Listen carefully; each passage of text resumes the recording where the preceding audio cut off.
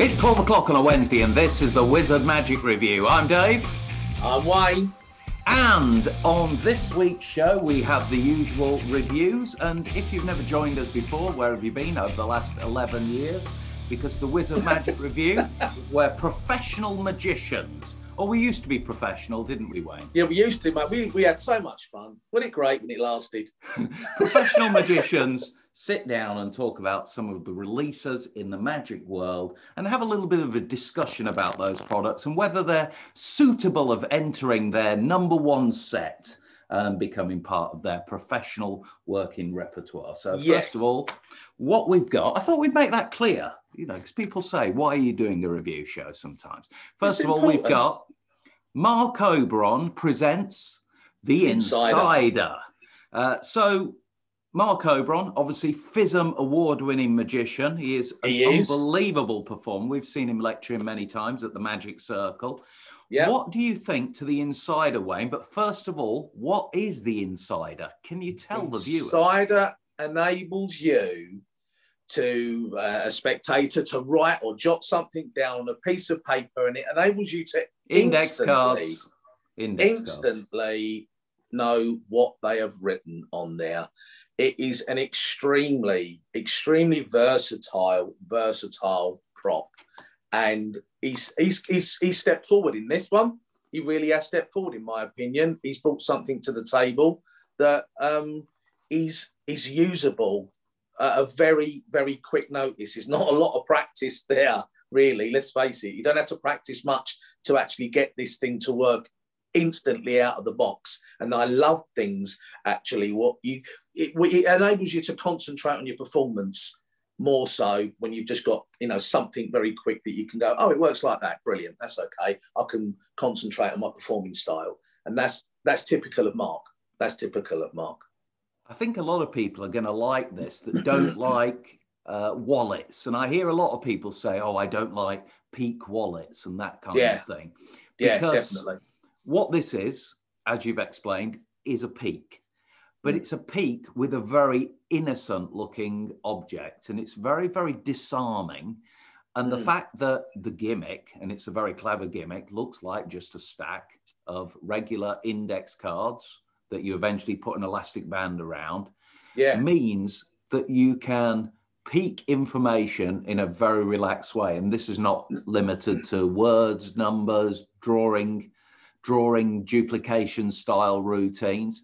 I also liked the first routine that marc discussed on the download. And the whole download it's an hour and a half but after about 25 minutes or so he's joined by aaron calvert and that's more of an interview. But on the actual enjoyed that. download part yeah on the download part in the first routine i was very intrigued how with something just the size of a pack of cards i.e this stack of uh, index cards marc is able to get kind of like a full q&a out of the routine because Yeah. by asking one spectator with some very clever psychology with regard to what you write on the card to start with that the audience is not aware of, you're enabled to gain much more information, even though the spectator only writes a limited amount of information on the card. I don't want to say too much because that's not Yeah, what we no, do I'm- on the Wizard Magic Review. We don't Yeah. show gimmicks. We don't talk about how something actually works. That's for you to decide that if you want to buy the product, you might find something of use. You especially enjoyed the interview, didn't you, Wayne? Aaron, uh, I've known Aaron for many years. He actually come along when he, I think he was only a teenager when he come to see me lecture.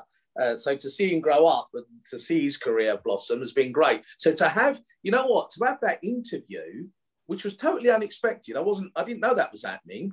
Uh, to hear two pros talking about mentalism like that was something that was worth worth the product any, any- on its own. What a lovely thing to, to just to throw in there. was a lovely thing to do. I, I think people should listen out for stuff like that because it was. I felt like I found a little bit of gold, just a little little nugget there tucked away you didn't even know about.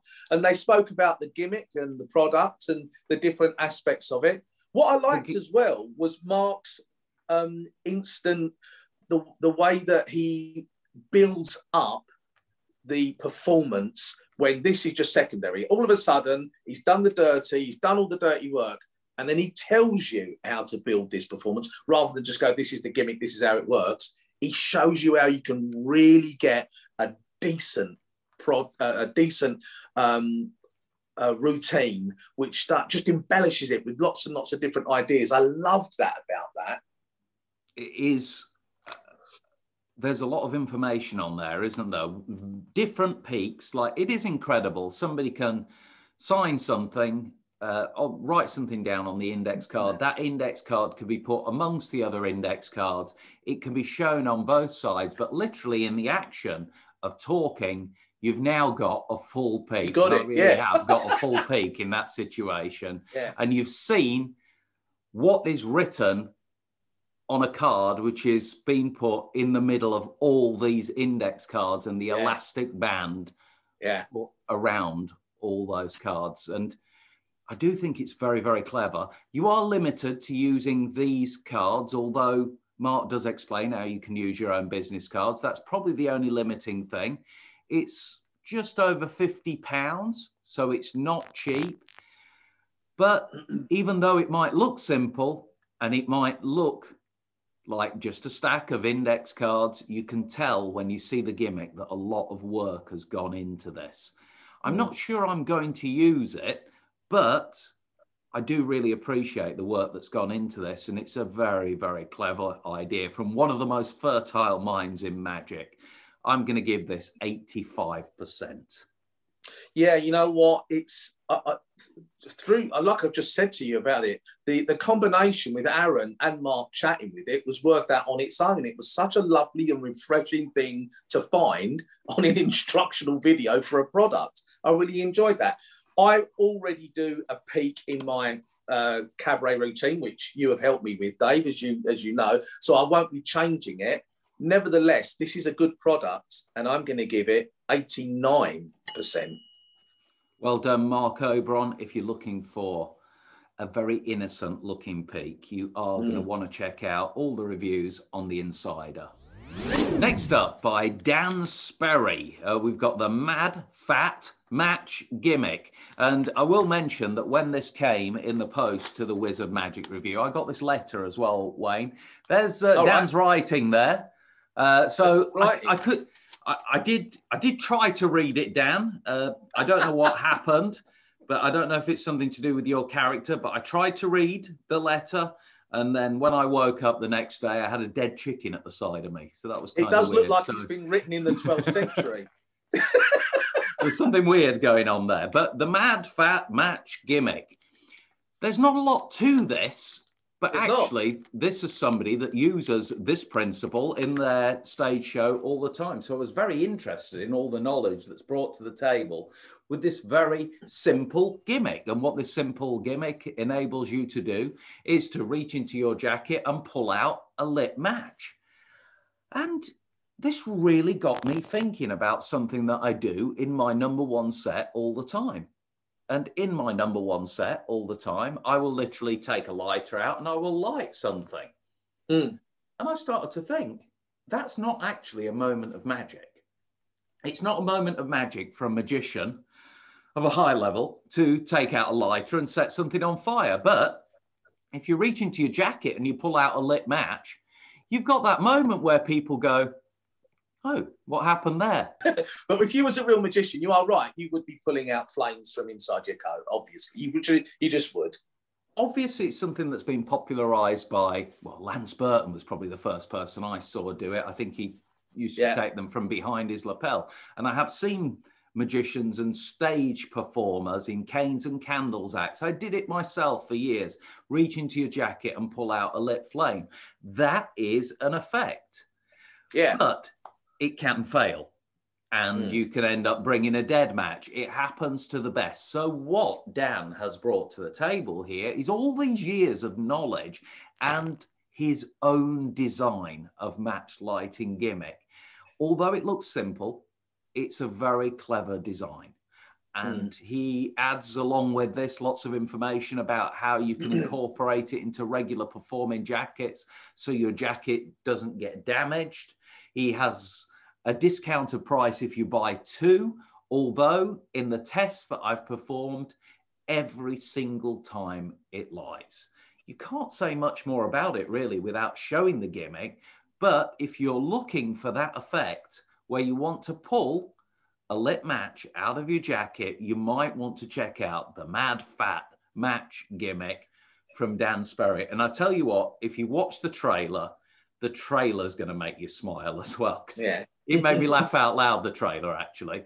Wayne, is this something you will use before you? I want you to mark it, but tell me how, tell me if it's something you would use. I, I, I can't think of any time. Uh, it has made me think. It has made me think. I can't think of any time when I light a naked flame, whether I'm doing table magic or on, on stage. I can't think of when I've done that. The last time I think I've done it was when we do the vault, when, when we're, we're doing that. It's the only time I ever done it. However, uh, it does, when these products do come along, it does make you think, well, actually, it's quite a nice way of producing a bit of fire. I wonder if I can incorporate it in that. So, yeah, I, you know, it is, it is, um, it is a nice product. And again, he goes through different routines and way you can do it. So, yeah, I think it How is. How much I'm are you going to give it? I'm going to give it 78%. Okay, I'm going to give it, same as I gave the Insider actually, 85%. And it's a similar sort of product because it's a utility device that may be able mm. to enhance an existing routine of yours. But it does work and it seems to work 100% of the time. And that's the value in a gimmick like this. Yeah. Something I want to mention that has come in for review at the Wizard Magic Review is the Artisan Coin Kickstarter project. and I really didn't know what this was because I think I'm probably getting a bit old for this, Wayne, but I actually have never bought a Kickstarter project before. Is that something that you've ever done? Bought anything no, on Mate, no, I'm with you. I'm, maybe we're getting old together. But so the idea is the idea is that you buy something at a reduced rate, and the reason you get that discount is because you back the project early on. And these coins have been sent to the Wizard Magic Review, and the guys from TCC and Jack has sent it over and just said, I'd appreciate you letting everybody know what you think about the quality of our coin magic. And at first, I thought it was a genuine review because you've got shells, you've got sun and moon gimmicks, you've got an incredible hopping halves set. And hopping halves is an effect that I've used and actually put in my lecture with some other advice over the years. Yeah, you have and a fantastic copper silver brass set. Myself and Wayne, we had a call earlier we, we looked through the coins and looked at the quality. The quality of these coins is second to none. Mm. But they're not available for purchase right now. So we can't actually give you a link where to purchase them, but they're available as part of a Kickstarter project. Now, TCC have done numerous Kickstarter projects over the years. They've always delivered on them and they've got one up and running as well with Michael Ammar at the moment, which is some linking rings. But these coins, I've got to say, I'm so impressed with the quality of these coins. We're not going to spend too long reviewing them because we don't want to. You, it's not something that you can go out and buy straight away. But I'm going to put, yeah. I'm going to put the link in the description so you can click on it if you're interested in coin magic because it might be a project that you want to take a look at you might want to back this project on Kickstarter and get yourself all those discounts. Check it mm. out. It's the Artisan Coin Project from TCC on Kickstarter. Next up this week is Flite by Steve Thompson, presented by ellusionist.com. So what is Flite, Wayne? Well, it's it's the uh, it's a it's a ring flight. It is uh, a, a, a, borrowed finger ring that vanishes in some way and appears on your key ring when you take it out of your pocket. This has, uh, yeah, this has stepped it up a bit. This, this really has. I actually quite like it. Nice to see Tom Elderfield on the um, uh, on, on the instructional to you, be doing. You're uh, laughing because you've known him since he was about seven or eight, haven't you? Yeah. Tom, Tom used to come in and say, I wanted selfies with me. now I want selfies with him. uh, yeah, so that's is. He, he was uh, he was a he, he was he was very so you, very buzzed up about magic. I'm going to pick you up on something. You said it's progressed the plot, and that's a phrase that you've used before. uh, in this Yeah. when you talked about the insider. So I'm going to push you on that. Why has it progressed the ring flight? In well, this, in my opinion, I didn't like using anything that I was going to lose someone's uh, valuable piece of jewelry. Let's call um, it a tension gimmick, shall we? That's what we need to do. Yeah. With this, that doesn't happen. You can simply, yeah, you, you reach into your pocket and that is on that ring, uh, on your on your key ring, without actually having to let go of it at any point. It, you've always you're always held onto it, and that is what I really love about it because in my in my heart if i have to let go of something and it's in even if it's in my well, i used to vanish someone's ring and i used to have it in an envelope in my wallet uh, even then even though i knew it was in there i used to get so worried that i was going to take it out tear it and drop it. I just got obsessive about it. Uh, but with this you've always got a hold of it and i really like that. I really like that. It doesn't look like you have at all. Looks like it's vanished. I really guess you, enjoy you, that. you do have to make a comparison with a, let's call it a tension gimmick, like we said. And Yeah. a tension gimmick made by El Duco is what I use when I'm performing a ring on string and then a ring to key case effect. That's what I use when I'm professionally performing. And I Okay. think the strength of it, uh, which is a slight negative with uh, the flite gimmick, but I want to give all the information out there as much as possible, is the strength of the vanish decreases with flite. Whereas when you're using a gimmick like the El Duco gimmick, that vanish of the ring can be incredibly clean. It's impossibly clean. Whereas when you're using flite, it's more sleight of hand based. And there is one point uh, on one of the performances where you're watching it being performed, and you can actually see one gentleman who's watching the routine. He seems to have clocked exactly what's going on, and whether that's because uh, Tom is not as experienced with sleight of hand as he openly admits on the tutorial, but I think He the does. vanish isn't as clean. So I think if you're going to perform it and you get flite by Steve Thompson, you do need to invest some time into that vanish because it's not That- as easy as just doing a French drop and then bringing it out of your I, pocket, I as totally far as. I'm That- concerned. it doesn't take away the fact the, the way the, the, the product I think is made and will operate. That's important Yeah. to know that. It does work exactly as you would expect it to work. It works brilliantly. You do have to, and like you just said, Tom, he's he, he's a gadget man. Tom Yeah. likes Tom likes to build things. He loves craft. He likes to make things. Uh, but I could see him making some little box what does the same thing where you could rattle it, open it up, and it's gone, and now it's on his keychain. That's what he needs to do instead of trying to do sleight of hand. Um, I think if it was me performing this, I would make a device for myself, or I would come up with some clever sleight of hand and good timed misdirection to I make them think like- they've got the ring. As you know, Wayne, you see me out performing it. I do the ring on string before the El Duco uh, Yeah. on keys. I do the ring on string and the vanish. If I wasn't going to use the tension gimmick, I would use the one. I don't even know what it's called. Wayne Dobson used to do it all the time, where you go over the top with the the That's it. chords and you steal it out, and in that moment, you're then able to load it onto the keys. Here's what I think. I don't think I'm going to use this professionally, but I think I'm going to add this to my regular keys, my real keys that I go out and work with. Mm. Uh, so, Uh, sorry, go out and work with casually. So That's your, that's your gig getter. It's your gig Yeah. getter. in the real it's- world, if you do exactly something right. with somebody's ring where there's not that same scrutiny, hey, I'm a magician, I'm performing, where you're just casually taking something, Yeah. if it's not part of a professional working set, I think this could be a stronger piece of magic than if it was part of a professional working set. Yeah. If that makes sense.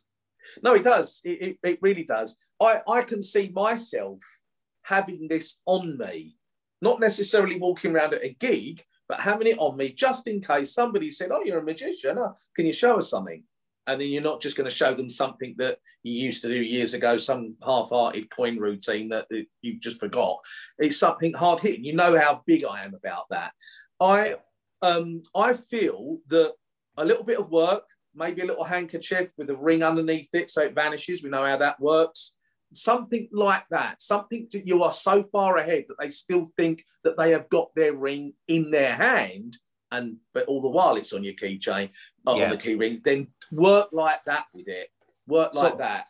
Before I mark it, I want to tell you like the journey I went on when I was thinking about this. First of all, I thought this isn't for me. I've got my El Duco uh, effect that I use all the time. I'm never going to use this. And then the more I watched it, the more I watched Tom on the tutorial, and the more I saw the live performances, I thought actually, in the real world, where you're not actually performing, but you might be trying to get a gig, that's where this could come into its own. And that's why exactly. I'm going to give this a high mark. I'm going to give it mm. exactly 90%. I intend to add it to my set of keys, and I think I'm going to use it. Okay, mate, that's really good. As you know, I never borrow. I never borrow jewelry off of anybody. I've heard horror stories from all kinds of magicians, and yeah. it just scares me. So I'm a little bit, you know. So, I, but you're right it's got to be a high mark. It's a very nice prop. It's very well made, and I like the, the fact that the scope that you've got with it to add would be brilliant. So I'm going to give it 89%. Next up, we have got Torn and Restored Card by changingcards.com. Remember this one, Dave? I do remember. I think uh, this takes me back 14, 15 year old walking around yeah. the dealer hall and yeah. you turn that corner, and all of a sudden you see Mr. Corporate Magician himself, Bob Swadling, there Bob with Val, doing the magic that you aspire to perform and uh, aspire yeah. to be able to afford as well. And, and I always remember, you know, year one, I couldn't quite afford that crystal card sword. And I desperately wanted it. Year two, I still couldn't afford it. But year three, I bought yes. it, Bob. I got it on year three. But one of the first effects that I ever got from Bob was the torn and restored card. And literally, he would be on that dealer stand in Blackpool all day long, tearing up that card. And he had this great moment where you lit it with a lighter and it looked like as he threw it in the air, it burst into flames. And as it came out of the flames, it had completely restored. And that's yeah. obviously presented on the trailer by Ashley Goodwin uh, yeah. on this occasion. But this is Richard Young, changingcards.com, that have the exclusive rights from Bob Swadling to produce their version of the torn and restored card. And he's already he's also joined by uh, Harry De Cruz mm. on the tutorial, which is only about 30 minutes.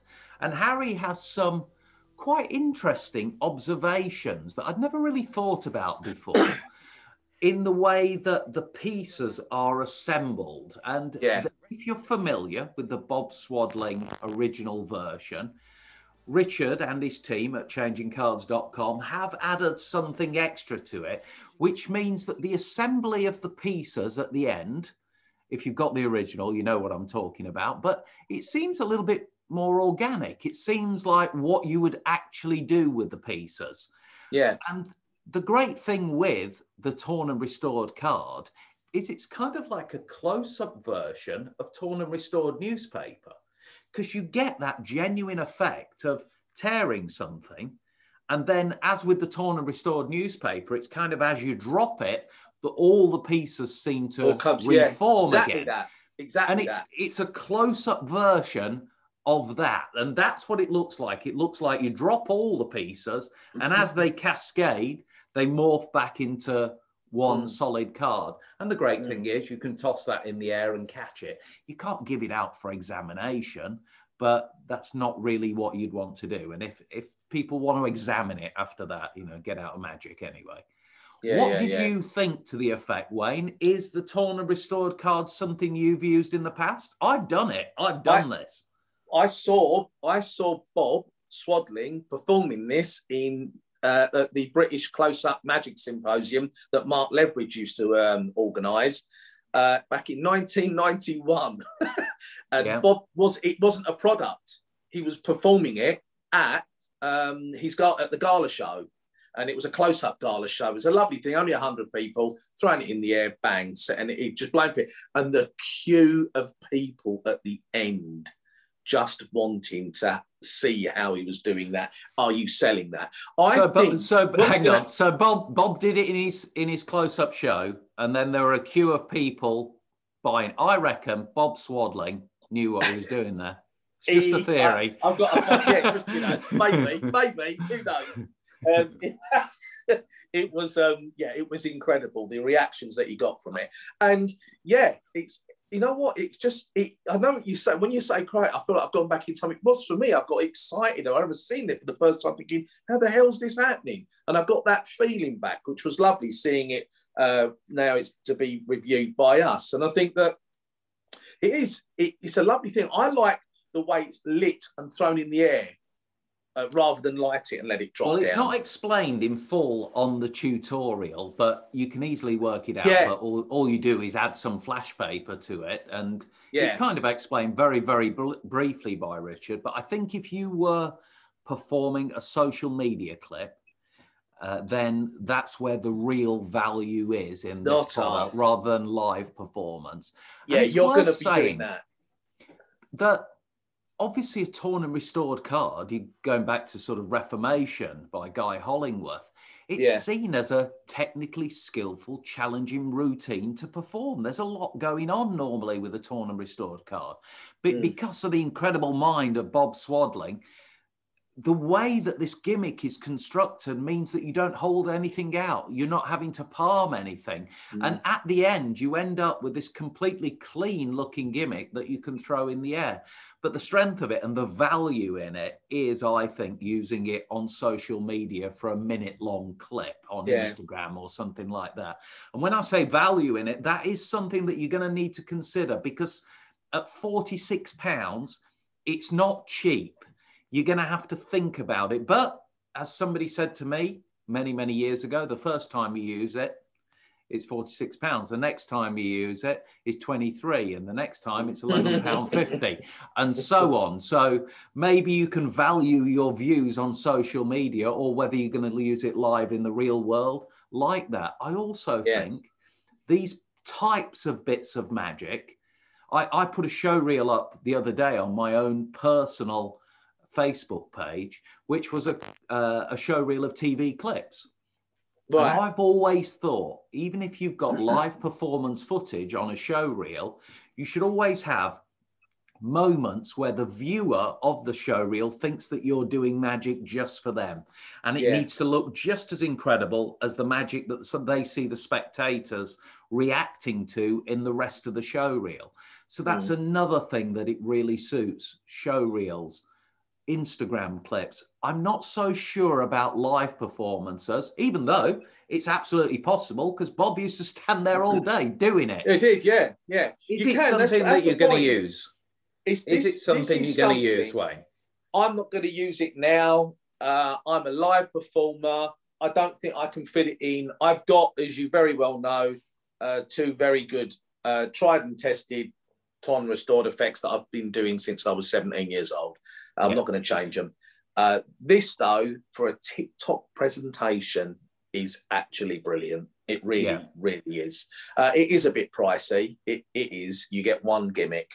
Um, but I think it's worth it if you're going to do it for social media. It's going to last, You- though, isn't it? The gimmick is going Oh to yeah, yeah, yeah. You're not, you know, you you've got to go some to break it. If you broke it, it's because you're too hand fisted. You know, you it's it's it is a nice working prop and treat it well and with respect, and it will last a long while. It's simple Yeah. as that. I'm What are you going to give give it, this. Dave? I'm going to give this the highest mark that I can without doing it myself. I know if Sean Hayden was with us today, he'd be giving this 100% because He would. He'd, He would he'd be. He'd be saying, "Leave it on the doorstep. I'm coming round to get it now to, to video an Instagram clip." He would Yeah, be using yeah. it. For me, Totally I'll agree. just give it the highest mark that I possibly can, which is 89%, without saying I'm going to use it myself. But I do think the quality of the gimmick, the tutorial with Harry and uh, Richard is excellent. Everything's explained, and I was very, very intrigued with the little bit extra that Harry's brought to the table that means that it makes even more sense the way you assemble those bits at the end. And if you think about it, if you take away the methodology and you think about that, how a layman sees it, it genuinely looks like all the loose pieces are put at the Yeah. front. And then that's an extra effect in itself because when Mm. you've got that torn and restored paper style presentation, it's like, how did they all reform? Whereas Mm. the original version, the, the pieces get put to the back. Uh, Yeah, it's, yeah. not much of a difference, but for a clip, for an Instagram clip where it might be scrutinized many, many times, I think it's worth employing that extra methodology. I agree. I, I How agree. much are you going to give it, Wayne?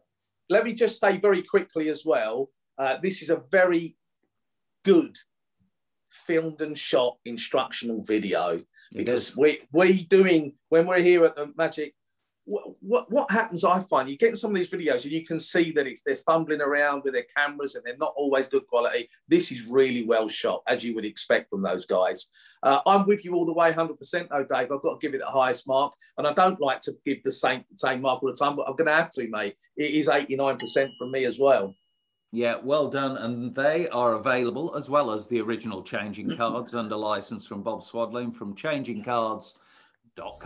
Finally, this week, we've already had an interview on the Wizard Magic Review uh, with the, the subject being Cube in Bottle by Henry Harrius, his brand new release. We can say more about it now. We can talk about Yeah, it. finally. Henry gave an exclusive to the Wizard Magic Review some time ago, as was the first show that he spoke about his brand new creation that enables you to visually put a cube in a bottle. Wayne, I think you already know what I think about this. yes. I think the viewers have probably got an idea what I think about this. So I'm very interested. You don't do Rubik's Cube magic. What do you think about this? I don't do Rubik's Cube magic. I've tried to do Rubik's Cube magic. It just doesn't fit my performing style. However, like I said to you earlier, yeah, I'm listening. I'm, li- I'm listening. I'm listening. Carry on, Wayne. I'm listening. Ru- Rubik's Cubes gives me the frustration back from when I was 12 years old with the kids walking around who could do it in three seconds. And it still took me till I left school that I could do it. Stop showing off, Dave. Stop showing off. it's, It's you know what though? I have to say, if I did do Rubik's Cube magic, this is this is what I would want to do. What a keepsake! What a keepsake that you can hand away to a special client uh, a Rubik's Cube that is inside a bottle. It is an absolute impossible object as a present, and they've witnessed it firsthand. They're the, they're, they are the two separate objects the bottle, the cube. They go in the bag, and you see it squashed down into one, pull it out, and it's in there. Yeah. It, I, I'd, I'd want to do it. I, it's making me want to buy it. It's making me want to buy it. As you know, the Venom Cube, I've said this before, I use it in pretty much every single show that I do. Close up, parlor. I've even done it, I've done it in Zoom shows. I've even done it on stage in illusion shoot shows as a front of cloth piece. It's an watched you. incredibly strong effect. And it's something that can be seen by up to 300 people without video projection. Yeah. What this does now, it enables me to give that whole thing a finish and imply that I'm giving everything away at the end of it to the spectator. There's quite a long tutorial. There's ideas that have been submitted by Maddox. I also had an additional idea, uh, which also got featured in the tutorial because Henry sent me this about a month ago now. So I've been playing around with this. I can't wait to go out and use it in the real world. And as Wayne said, the real value in this is the fact that you're giving away this incredible gift. And I think if you buy quite a few of them, they work out to sort of six, seven pounds each one. Now, that Mm. might seem like a lot, but if you're giving that to the person, the MD of the company, the person that's booked you, and that is going to stay on their desk forever. That's every single day of their life that they are going to see something that's going to give them the memory tag of your performance. Yeah. And I think this is absolutely incredible. I think Mm. it's probably the best product of the year so far. I can't think of anything that I've seen that's better than this. The moment you open it out of the box and you see the gimmick, you just go, oh, That is I. I knew you were going to love it. I knew that you were going to absolutely love it, and rightly so because it's extremely well made, extremely well made, and it's affordable. Quite frankly, I know that For what it is. What, what, for what it is, I wouldn't like to sit down and, and have to Well, you can't, that to get that You- made. You can't make it. No, you, you, no. you couldn't. And only Henry Harrius could have brought this product out because only Henry has got the confidence of the entire magic cubing community Yeah, that will pretty much buy everything that this man brings out. And there's no wonder why, because it is an incredible addition to Magic Rubik Cube routines yeah. and it gives it a finish. And so many times these routines, they're incredible, but you haven't got an incredible finish. And if you're doing a show where you can afford to give it away, it's incredible. You don't have to give it away. You could just end I- with the you know impossible object I've- and then I've got a people dis- could I've- check it out. I've got to disagree. You you have to. You've got to give it away. You have trying to to think. sure- I'm trying to think about everybody that goes, oh, it's too much, but is it still a, yeah, it's still a strong effect to give it them for it to be examined. But like Wayne says, if you're going to do it, God, you've got to give that You've got to give it it's away. incredible. It is. It's just. It, it's mental if you don't. you really have got to.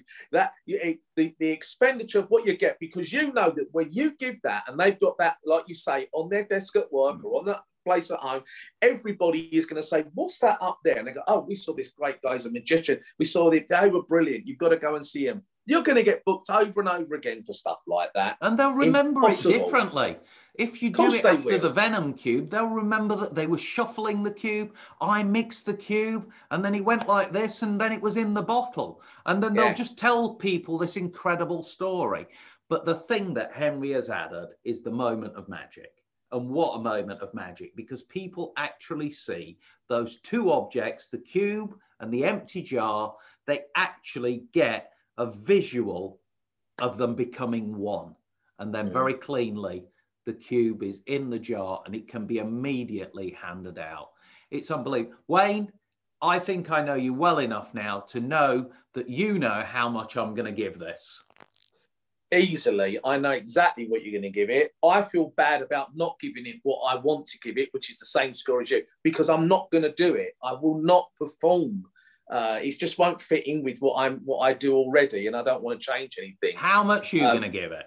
I, I, I again, I've got to give it 89%. It's the highest Yeah. score I can give anything without actually performing it. I don't even have to ask what you're going to give it, mate. Personally, it's 100% from me. It Yeah. has to be. It's unbelievable. And, you know, get in the forums. Tell me I'm wrong. There was somebody last week saying that we're being too generous on the Wizard Magic review and I was having too much of an argument. But we pick the magic that we're interested in looking at. Mm. And we're always fair, whatever we say. We're always you tell me if I'm wrong. If this does not deserve 100%, it's one of the best produced products. It looks like something from Apple Technologies when you get it in It the does. box. It's Yeah. incredible. You get it out, the gimmick does not disappoint, and you'll be doing it straight away. It's unbelievable. And the fact that you can freeze a moment of magic like that and give it away to your spectator just takes your magic to another level. Wayne, thank you very much for joining me this week. You Thank never know, Dave. that man Sean Hayden might be back with us next week. We don't know. But thank you for joining us. Please give this a share into magic groups or amongst magician friends of yours that think they might be interested in one of our reviews. You can share it through Messenger or something like that. You don't have to share it into a group. But we really appreciate you watching and we really appreciate your support. Thank you. Until you. next time, I'm Dave, I'm Wayne. and we'll see you next time on the Wizard Magic Review.